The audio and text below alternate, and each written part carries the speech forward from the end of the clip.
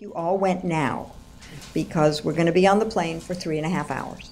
And then you get on the plane and there's, um, there was like a, um, you know, a cooler with some cold drinks and they put it down between the seats. And they said, well, here's a cooler and nobody ever touches the stuff until like you're just about to land.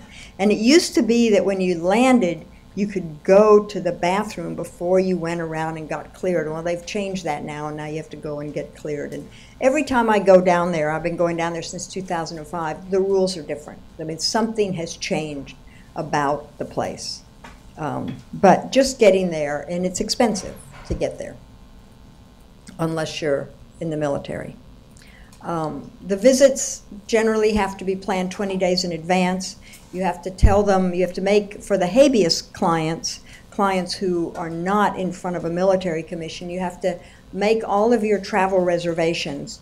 Tell them, this is where I'm going, now you've bought your tickets, and then they will come back and tell you whether your visit's been approved, which again makes it difficult, and at the last minute they can say, the military cannot accommodate you on this date, and then you're out. Um, the flights are limited. Um, for me to go there from New Mexico to visit with my client for a day or two really takes a week by the time I get there and get back. There, I don't, you all probably are, are not primarily lawyers, you probably don't deal with clients in jail, but generally clients in jail can call their lawyers. Um, they can call their family. Um, they can make phone calls. These people cannot. They, they have if my client needs to speak with me, if there's an emergency, he might be able to get word out to me through someone that he needs to talk to me. And then I can try to set up a meeting, a phone call. This is the, the habeas client, not the client who has top secret clearance, but the other one. And I might be able to arrange a phone call I'm supposed to uh, ask for 10 days later. It's very, very difficult to communicate. And then we can't talk about anything classified. Um, we'll have a minder on the phone. Um, so, you know, they can't, they can't talk, they, their families can't visit them. No one visits them except their lawyers or the guards or interrogators um, or an occasional doctor. But they have no other visitors. And that in itself leads to a lot of mental stress for people who've been locked up for a long time. Um, they're usually shackled to the floor when you're talking to them, um, which again is unnerving. I find it unnerving to be talking to someone who's shackled to the floor, and it's of course difficult for them um, to be in a room where they're shackled. They have big, big metal bars and circle, these circle things that they hook the shackles onto in every, every visiting room. You take notes, they have to remain in the secure room. If I take notes when I'm meeting with my client, then they have to go through a process, and then again, I have to come to Washington to read them. I can't take my notes back home. Now, this isn't just the Guantanamo problem. This is a problem with any case that has classified evidence, but it's made more difficult when it's so far away, it's so hard to communicate, and you can't bring them back. I've had other cases with classified evidence where the room where I keep my secure notes is in the same city where I happen to be, either where I'm trying a case or where I live. But the only secure rooms here are in Washington or Guantanamo, which makes it very, very difficult to keep track of whatever it is you're doing. And of course, there's evidence that I have that I can't share with the client. And that's very troubling as a lawyer. You need to share things with your client, but the client isn't entitled to read the classified evidence. So there's certain things I can't tell my client, things I can't show him. So this is um, Abraham El Nashiri. Uh, you may have read about him. This is the first death penalty case. Um, it's being litigated now you can actually go online to mc.mil and read the, the transcripts. I have a few, few clips here and look at the pleadings. They're coming out pretty quickly online. Um, he is a Yemeni Saudi man. He's been incarcerated since 2002. Um, he was in the black sites. The government has admitted uh, that he was waterboarded. Um, the government has admitted that um, some other torture uh, of him, although they haven't admitted that it's torture. That's my words. So, what are the issues? Well, there's no statute of limitations. The statute of limitations is a huge protection for criminal defendants. It means that um, they can't go back and charge you with something that happened many, many years ago when all the evidence is difficult to get and it's hard to defend yourself. And that's almost every crime has a statute of limitations except murder um, in the United States in our criminal justice system. But there's no statute of limitations in the military commission, and I'm going to show you how that makes a difference. Of course, the discovery is classified. We've talked about that. Um, there are blacked out years, places, events. There are things that we don't know. There are things the government won't tell us about. Um, where was he from 2002 till he went to Guantanamo in 2006? What happened to him there? Um, what kind of interrogation was there? there are videotapes that the government has admitted it destroyed intentionally of his interrogations um, and the interrogations of someone else. Um, nobody's being prosecuted for this, by the way. Um, but there were videotapes, we don't have them.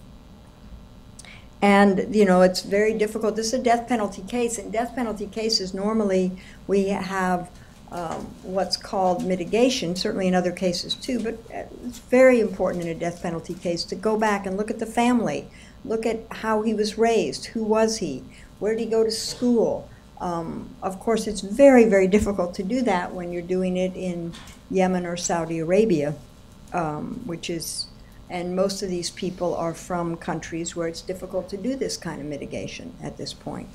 Um, I have been to Yemen. Um, I have not been to Saudi Arabia, but I can assure you that the mitigation is difficult and expensive, and um, you know it's going to be important. We want to save this man's life.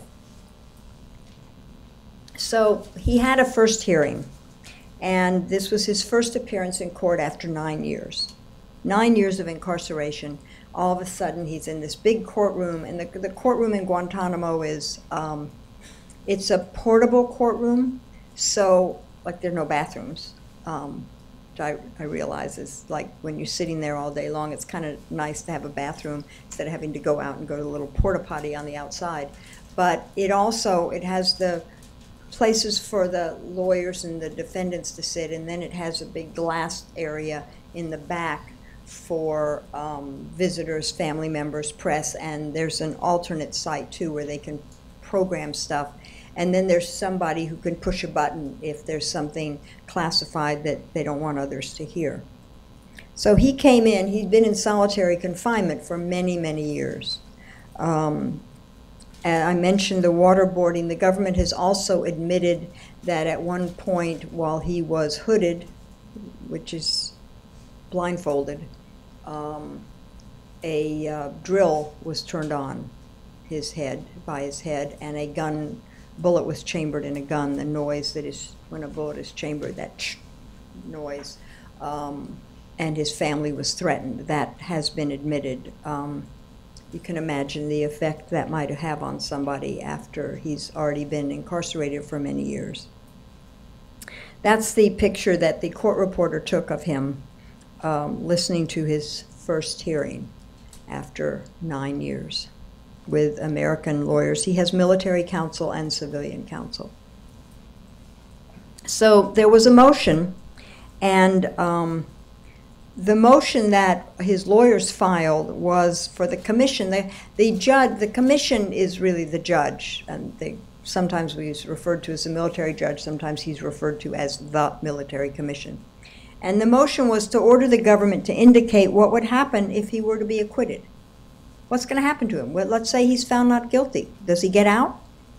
Um, and the military judge asked this question if the accused were acquitted today, there's no legal prohibition from the government to take him under the authorization of use of military force straight back to the cell he came from?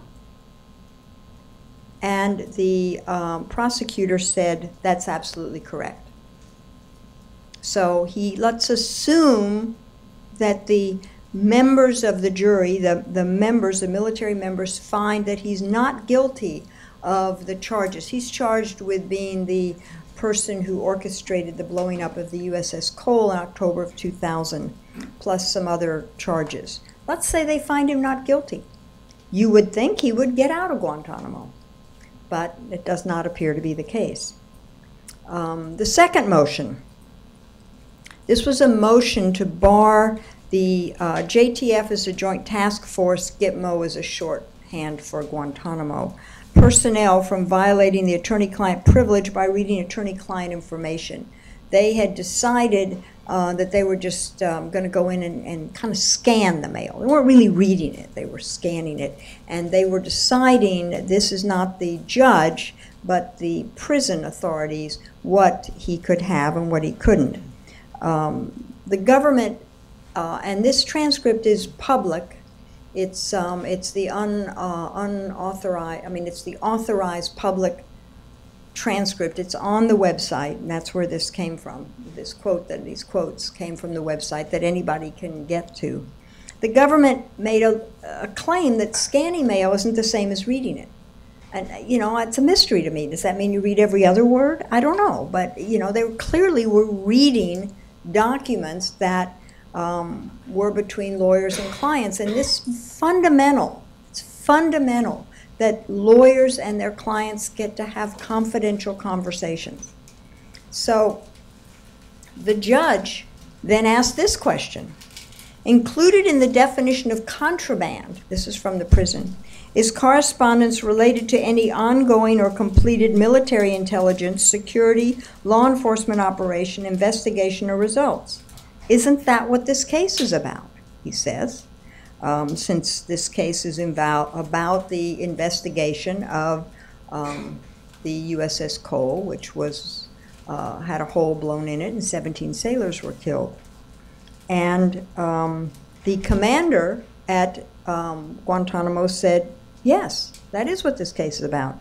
And so the judge says, well, under that definition, they couldn't write to their client about his own case. Um, now, to some extent, this has now been mitigated. The judge has signed an order saying that uh, attorney client mail cannot be read. And um, if anybody has a question about it, they now are under his control and not Commander Welsh's control, and they'll have to come to him which is a help for the Nashiri case. But I mean, this is an example of it just inconceivable to me that the government could argue with a straight face that they can scan the mail, but they're not really reading it. So, trial issues. Uh, this is the first death penalty case to be tried in Guantanamo. Um, coerced testimony may be admissible. In the United States courts, it's fundamental that if testimony is coerced, it's not reliable. And we don't want to convict people on evidence that's not reliable because when you torture someone or coerce them or threaten them, they kind of say anything. Well, it may be admissible um, against the accused in these cases, depending on how the judges rule.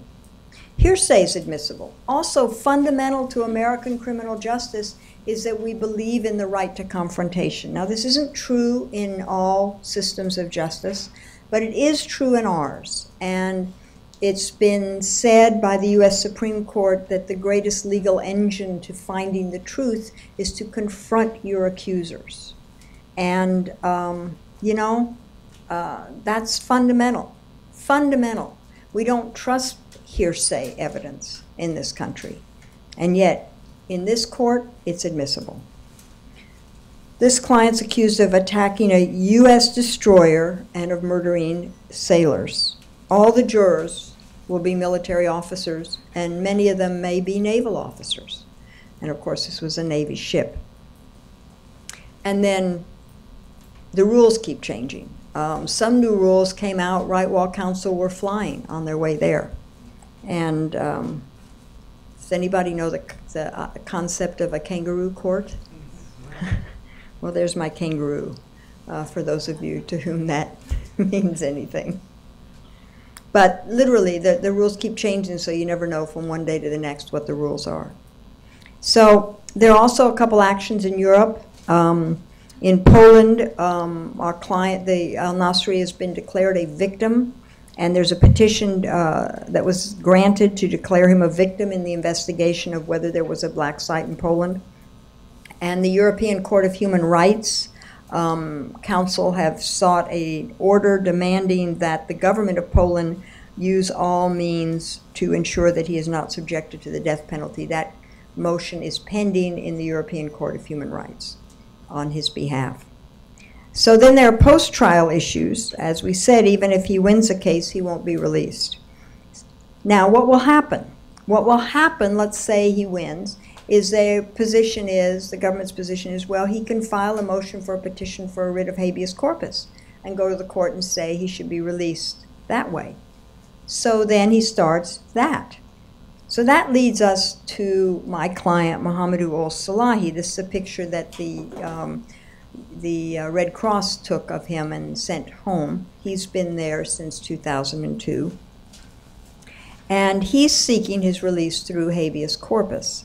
Uh, again, the law keeps changing. After 10 years, we won Mohamedou's case. Judge Robertson said he should be released immediately.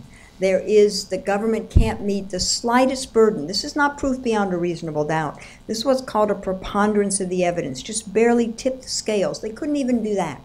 10 years. Um, we had a hearing, the judge said they don't have evidence against him. The government appealed, and the DC Circuit Court said, well, after he wrote that opinion, we kind of changed the law. So now go back under our new version um, and see whether he, whether he still wins his habeas. And so we're back starting all over again um, with him. He was also tortured. Um, the Secretary of Defense Rumsfeld had specific um, rules for two prisoners in Guantanamo, a man named Al Qahtani and Mohamedou Ould Slahi. Um, and the government has agreed not to use any of his statements from that period of time since um, he was kept from sleeping for about 70 days. They've admitted all this. This all came out in a Senate report, the Senate Armed Services Committee report, so this is all public. Um, he was taken out in a boat. He was beaten. His ribs were broken and um, he was told he was going to some other place where no one would ever find him. He received a fake letter from the White House saying, We've arrested your mother and we're bringing her to Guantanamo. How do you think she'll fare here with all these men? There's horrible things that they did to him. Um, we have a limited right to discovery, even though we have security clearances. We get documents that are heavily redacted, um, blacked out, that we don't know where they came from or what they are. The government is, in his case, is using fear. They originally charged him with the Millennium bombing, then then they couldn't hold that. Then they charged him with 9/11. Then they charged him with being a part of Al Qaeda. They just kind of keep changing, and they keep telling the judge this is a dangerous man. They have no evidence of that, and there is no evidence of that. Um, so, but let's say he wins. Let's say he wins his habeas case. And, you know, we, we already won once. Let's say we win the second time. And the government appeals and we win all the way up to the U.S. Supreme Court. And the court says he's to be released. Well, he can't be released into the U.S. Congress has already said that. So what happens next? He goes to the military commission. And the circle starts all over again because remember I said at the beginning there's no statute of limitations. So now, let's say he wins three or four years from now and we finally get to the Supreme Court. Then they say, well, we'll just charge him with um, material support, which ought not to be a war crime, and that's a whole other story. But we'll charge him with material support to terrorism and put him in the um, military commission, and the whole thing will start over. So, um, this last slide um, is, a, is a quote from Justice Rutledge in a case Yamashita, who was a Japanese um, general who was tried by the U.S. for war crimes. And the quote, I think, from 1946, which is before most of the people in this room were born, except for a few of us. Um, but it's really important. Um, it is not too early. It is never too early for the nation steadfastly to follow its great constitutional traditions, none older or more universally protective against unbridled power than due process of law and the trial and punishment of men, that is, of all men, whether citizens, aliens, alien enemies, or alien belligerents. It can become too late. So I leave you with this question of whether it has become too late. And that was a good many years ago, and we're still there. So, uh, any questions that you all have? Yes, sir. Yes, um, Mike, uh, Frank Fletcher, my question is about the changing rules. The military commission, um, there's a law, legislation passed by Congress. Who is responsible for making the rules with respect, I guess then the legislation isn't comprehensive enough? Well, the legislation, the, the rules have changed. The military commission, there was a 2006 version, now there's a 2009 version. Uh, but then there are rules that come out. The Secretary of Defense has rules, as you saw. The uh, the prison um, has rules.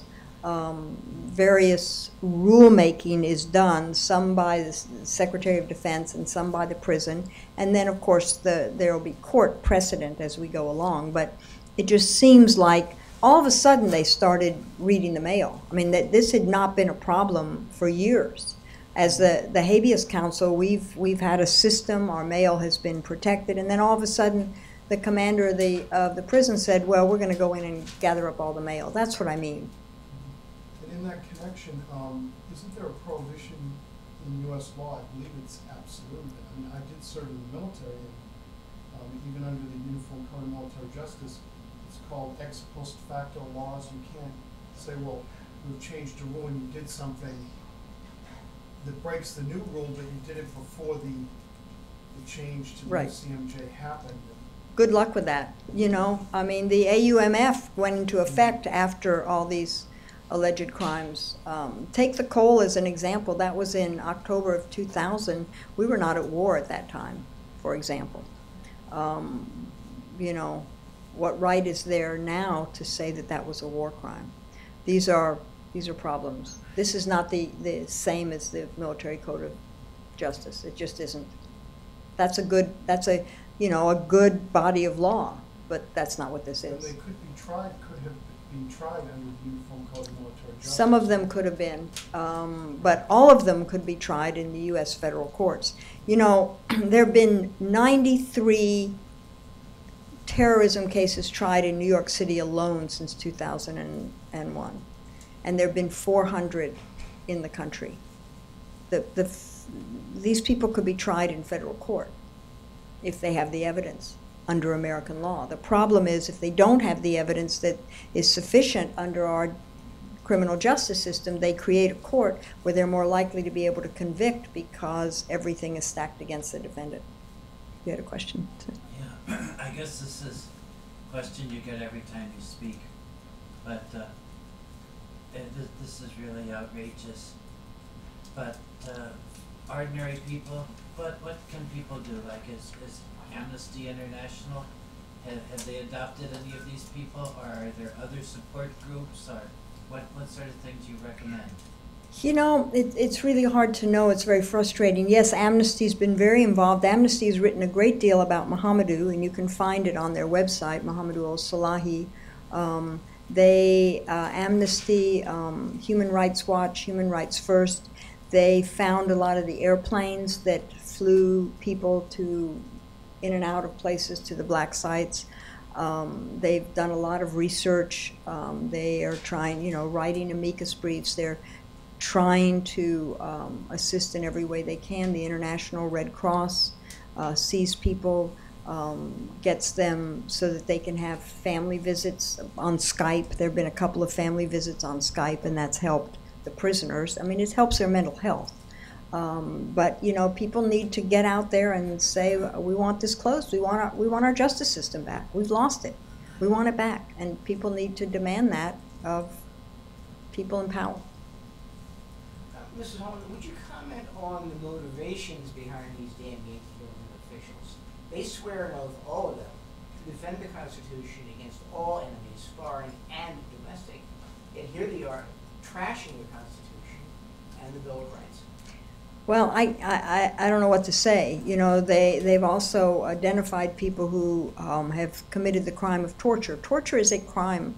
There is a crime of torture in the United States Code.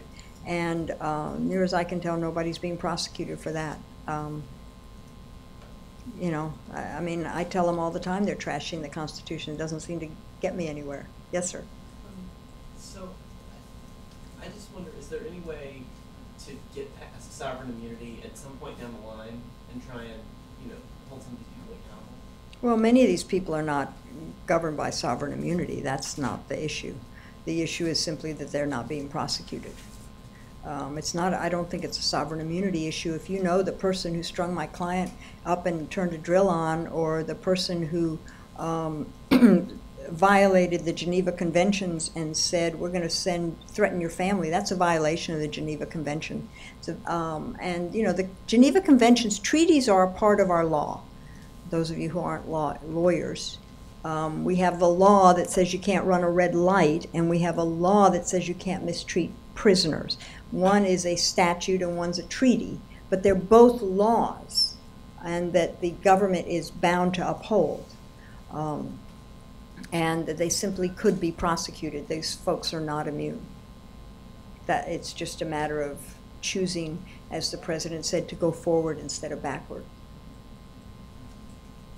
When, when you hear these things about the Guantanamo, would it be more humane to shoot these people and finish with it? This is a comment anyway, but uh, the question I have for you, who pays your, uh, covers the expenses, who pays your fees? Um, for my uh, Mohamedou, um, nobody. I mean, that is to say, my law firm and I, we've we've simply taken this case on, uh, and we did it. Um, fortunately, he speaks English, so I didn't have to pay for an interpreter, uh, which would have been hugely expensive. But we've spent hundreds of thousands of dollars in time and expenses. Lately, over the past year or so, the American Civil Liberties Union has joined in that case and are assisting us with some of the um, expenses of experts and doing some of the legal writing. Um, the other one, there was the ACLU had a project called the John Adams Project, where um, it agreed to pay minimum amounts for um, for them, and the rest of it is simply pro bono because it needs to be done. Uh, the military is now paying some of the fees for those who are being prosecuted by the military. I mean, they, they provide military counsel and they're paying, for in the death penalty cases, they're paying for what's known as learned counsel, which is someone learned in the death penalty, which is required under the statute. So they've hired, uh, the military has hired those people, uh, learned counsel for El Nashiri and for some of the other people that it plans to try to kill. So what will happen to the government shoot them and finish with it? I mean, instead of torturing them and keeping them and creating all this bad thing about America in the Middle East, because it has been used in the Middle East. Uh, I mean, people hate America because of Guantanamo, I can tell you that. Why don't shoot them and finish with it? Well, I think they, uh, I mean, you know, I, I don't know how to answer that. Um, I, I don't think shooting people is the answer, um, and it certainly won't make us any friends in the Middle East um, to do that. The answer is to close Guantanamo and give people legitimate trials, and those who um, we can't convict because we don't have the evidence should be released. I mean, just like we do with everyone else in this country. Yes. Um, what is your opinion regarding administrative detention as like a proposed solution to this idea that you, if you don't have evidence, that you kind of in- detain them indefinitely as opposed to letting them go? Well, there's no provision in the law for administrative detention until we just recently passed it. Um, it goes really against everything that in our criminal justice system that you can just de- detain people indefinitely. you know, how many other countries do this? And the United States has up in arms all the time. Um, how horrible that China's detaining people. How horrible that Russia's detaining people, how horrible that some other country is detaining people. We want them to have rights. Some American gets gets captured somewhere, and the United States is just insistent that people have a right to be tried. It is fundamental and part of our United States Constitution that you have a right to a trial um, before you get locked up. We can't we can't just detain people because we feel like it, and that's essentially what we're doing. Yes, ma'am.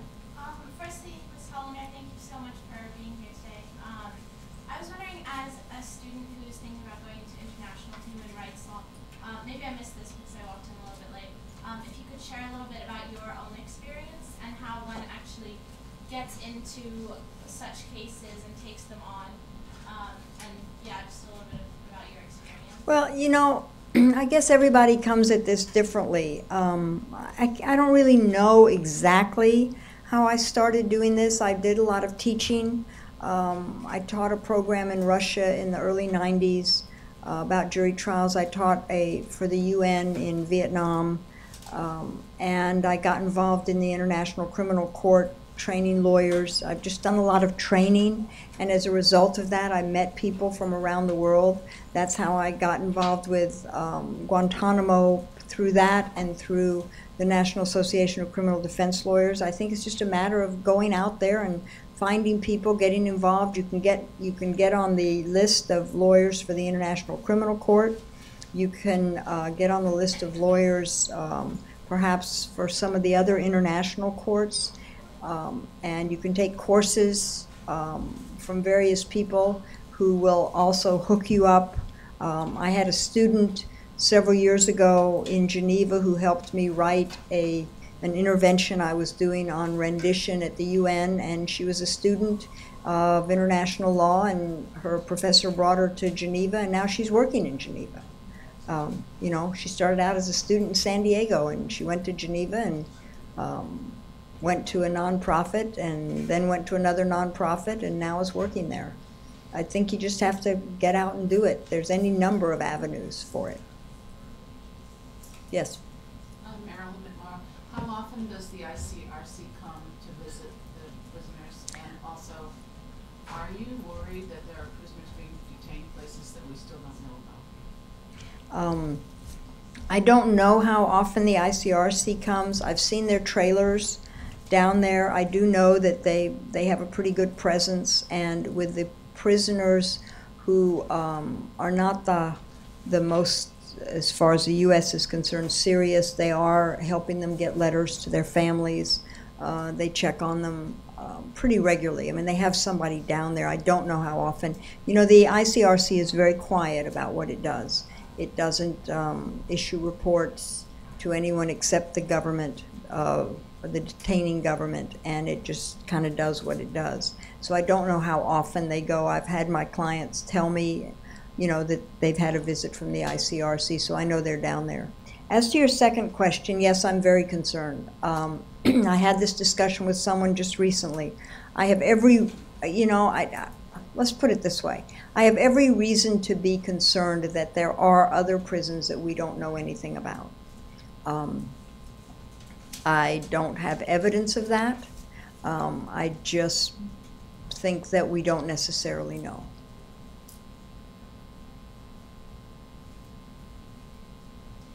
Um, assuming that we will not close down Guantanamo and bring the prisoners here, seeing as Americans don't even want them to be tried in this country. Right. Do you, what, do you have any suggestions of a, of another alternative? Well, you know, we could have real trials in Guantanamo. They just need to be real trials. They need to be resourced. The defense needs to have all the resources that the prosecution has, which it doesn't have. The defense needs money from the government, just like when we have indigent clients in the U.S., they either get public defenders, I'm talking about federal cases now, um, they get public defenders or they get lawyers appointed. And then they get resources, they get consultants, they get experts, they get translators. Um, it's, it's like pulling teeth to get this down there. And of course, the habeas clients, the government, um, except for a few public defenders, they're all being represented pro bono. And we should have real trials. There's, there's, you know, real trials. If there are really war crimes, then try them in military courts, but real courts. That's the answer. We have a justice system, it works. Most of the people charged with terrorism have been convicted. Very few people charged with terrorism in this country have walked out of court. And, you know, there have been 500 of them. I mean, it, why, why can't we do that? The majority of detainees are now in Afghanistan, is that correct? There are, yes, we know there are people in Afghanistan, right. But, but far more than even Mhm. one time now. Mhm. And the, and the procedures there, you have any familiarity with that? I don't. There are people who know what's going on in Afghanistan. I've tried to represent those people, but I don't know much about that. Yes, sir. I've been thinking, um, the big question I have is why it why is it happening? Like uh, because basically Guantanamo represents like uh, a negation of uh, all the principle, the basic principle that uh, based the United States as a society, as a country, as a state. It's like human right gone uh, the right process, the, um, the right to a um, good process like is gone. The rule of law is gone. So why? Well, you know, I, I, I can only look at the history. When Guantanamo started, the U.S. Um, was in this fear frenzy after 9 11 and um, started picking people up and decided to put them somewhere where they thought they would never, nobody would know where they were and they would never have lawyers. And that was the intent, that they were going to be there without lawyers um, and they were just going to be there. It was a detention, it was an interrogation facility, not a detention facility, really. Let's get them in and interrogate them. And then um, it just, you know, lawyers found out about it, families found out about it, and the Supreme Court said you can't do it. But the intent, initial intent, was just to lock people up forever um, in total violation of U.S. law. And then they started kind of trying to write laws to justify it. Um, it's, uh, it's just an abomination. That's all you can say. Yes?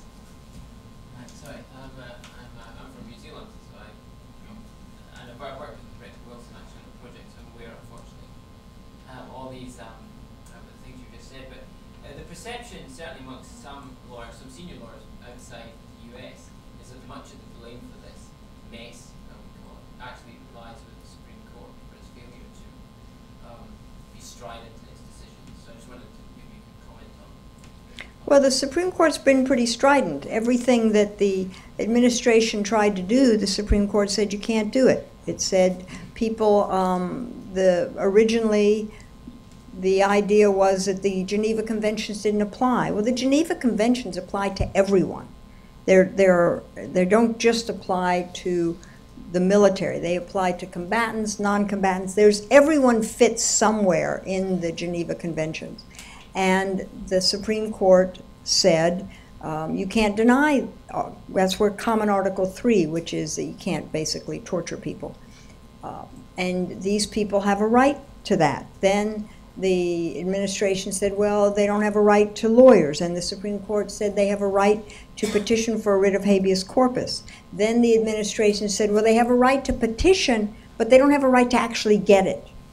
Uh, I mean, that's the mystery to me. But that was the government's position. Well, they yeah, they can petition, but they can't get any remedy. Then the Supreme Court said, no, they get a remedy. They really get real habeas. You can't just ignore it. So the Supreme Court has come out um, pretty well. Now, it has not taken every case. Um, it turned down some that I wish it had taken, and of course, isn't as strident as perhaps I would be. But without the Supreme Court, um, we'd still have a Guantanamo without a single lawyer, and um, nobody would have ever gotten out unless just by fiat, which is actually how most of them did get out. The lower courts have now begun to make uh, mockery of the Supreme Court. Yes, ma'am. Um, Candidate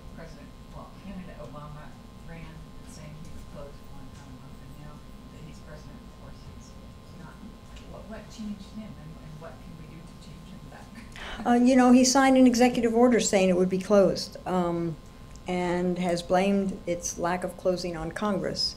And to some extent, that's true, um, the difficulties in Congress. But it's, you know, it's up to people and, and represented um, representatives to say, we want it closed. It, it's as simple as that. We want it closed. We want these people tried. Try them there in real courts or try them in America or release them treat these people like everyone else in America. I mean, don't forget, the Constitution applies to everyone in this country, not just citizens, not just legal aliens. An illegal alien, somebody who walks across the border, is completely illegal and gets charged with a crime, gets the same trial as an American citizen under the Constitution and under the laws of this country. And yet we have created a prison of only foreigners um, who didn't even want to come here. Let me, is there someone else who hasn't spoken, hasn't asked a question? Go ahead. Um, could you say a few words about, um, compare and contrast with the, I read, familiar with Northern Ireland and British laws there, and what you think of, are they violating their constitution? In Northern Ireland? Well, What, what do you I'm nearly- They have a lot of this administrative detention and. they do. A lot of countries have Interrogation. They don't have so much as they used to. Um, I was involved in a case in Ireland, um, a terrorism case, um, but it was a case where it was a court you know, with judges and a trial. Now, you know, there there may have been issues in that trial that I didn't agree with, but he was charged in a court. Um, they don't have jury trials, but uh, many of the other countries don't have jury trials. That doesn't necessarily mean their trials are unfair. Um, but getting off on the English and Ireland is a is a whole different story. I mean, a lot of countries have administrative detention. Um, it is something we've never approved of in this country. We've just simply never approved of it until now. I heard a couple of years ago of a judge that sort of resigned on principle. Have you seen evidence of military judges and military prosecutors resigning on principle because they know they're not following standard judicial? Yes, um, the chief prosecutor, uh, Colonel Morris Davis, resigned and has been very vocal since then. Um, you can read his op ed pieces and various things that he's written. Um, there are several other prosecutors um, who have resigned um, or who have testified for the defense. I'll tell you um, about one um, because he's one that I know. Lieutenant Colonel Stuart Couch was sent down to prosecute Mohamedou Salahi, the young man you saw the picture of in the hat. And this was in about 2004. And um, Colonel Couch is a very religious man and a Marine. And he uh, had a friend, a very good friend, who was one of the pilots who died um, in one of the planes. I believe that was one that went into the Pentagon. And when he was offered the job of prosecuting, this was all in a Wall Street Journal article, this is where it first came out. Uh, he was offered the job of prosecuting Mr. Salahi, who at that time the government was accusing, they keep changing what he's accused of, but at that time he was accused of um, recruiting pilots for 9 11. So Colonel Couch goes down to Guantanamo and he's all, you know, I'm going to get this guy and I'm going to set up this case and we're going to prosecute him, we're going to give him the death penalty. And he goes down and he's in and he's a very kind of straight dude, you know. And he hears this loud music. And I don't know, has anyone here ever heard the the, the group Drowning Pool? It's um, probably not, but um, the kids have. It's um, they have a song called "Let the Bodies Hit the Floor," and it's this hard rock, heavy metal song. And he hears this song, and you know this loud blaring, and he thinks, "What is this? Some young soldier doesn't realize that this is just not appropriate here. You know, we're trying to get some work done." So he goes in to look for it, and he's about. I mean, he's ready to like take this young enlisted man that he's sure he's going to find and, you know, teach him a thing or two and be a real colonel. And this is how he describes this story. He goes marching off and he finds a cell. And in the cell is a prisoner curled up in a corner in a fetal position, this music blaring, strobe lights going on and off, and this guy curled up. And he stands there. And this young soldier comes up to him and he says, Sir, please, you're not supposed to be here. And Colonel Couch says, What the hell's going on here? What is going on here? And he says, Please, sir, you're really not supposed to be here. And he says, Well, I'm here, and this is wrong. How much of this is going on here? Um, and he, of course, finds out that more of it's going on. Then he starts looking into Mohamedou's interrogation logs, and he realizes that he's been tortured. And I mean, he's been, uh, you know, the things that I mentioned. He was taken out on this boat, and his ribs were broken, and he was deprived of sleep for 70 days, and various other things. And he's really disturbed by this. And he says he went to see someone else, a Marine, and he said, What do I do? And the other officer said, You do your duty. You're a soldier. And he said, But my duty is to defend the Constitution, defend the Geneva Conventions, defend the Convention Against Torture. This is how I was trained as a military man. That's my duty. And then he went to a sermon. I said he's a very religious man. Um, and he goes to a sermon, and his pastor says, gives a talk about how every human being has human dignity, and every human being must be treated with dignity. And he goes back to Guantanamo and he takes this file and he says, You get some real evidence after oh, on this guy, call me back. But I'm not going to prosecute a case that's based on coerced interrogations and not treating someone with human dignity, and that's not what I signed up for in the military. And he walked away from that case.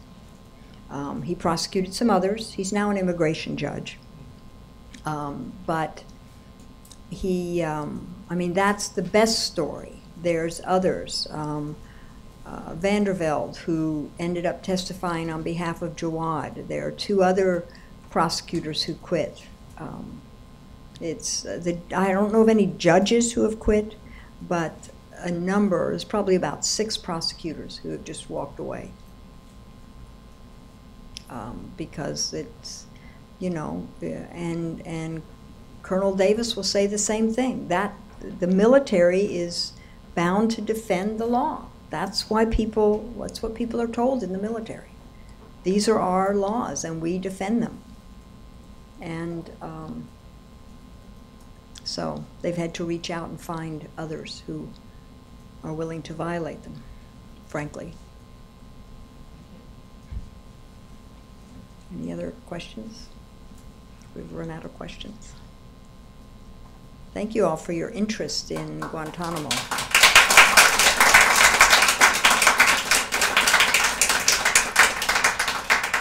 It's very depressing, but it is important to know. It is depressing. You know, I always, people, I, I, I give various lectures, and one student came up to me from, I was giving a lecture about something about this nature, and he came up to me, he said, Can't you give us any hope? and you know, I, I mean, I, I, I hate to give a talk that ends with so little hope, but I've never figured out a way to talk about Guantanamo that's hopeful. I just, I just can't. I mean, I desperately want to get my clients out. I want to see all these men get out. Um, this is, you know, it's destroyed our reputation in the Middle East. It's destroyed our reputation. I travel a great deal, and I travel in the Middle East. Um, and I mean, people are always very kind to me. I've never had a personal problem with anyone or anyone in Europe. But, you know, when when you say you're an American, they say, "How can you guys do this? How can you do this?" We've looked up to the U.S. all these years. We believed that you were one of the good countries, and you know, we're not. We're just not anymore. We need to take back our justice system. We need to take it back. And only the people can do that.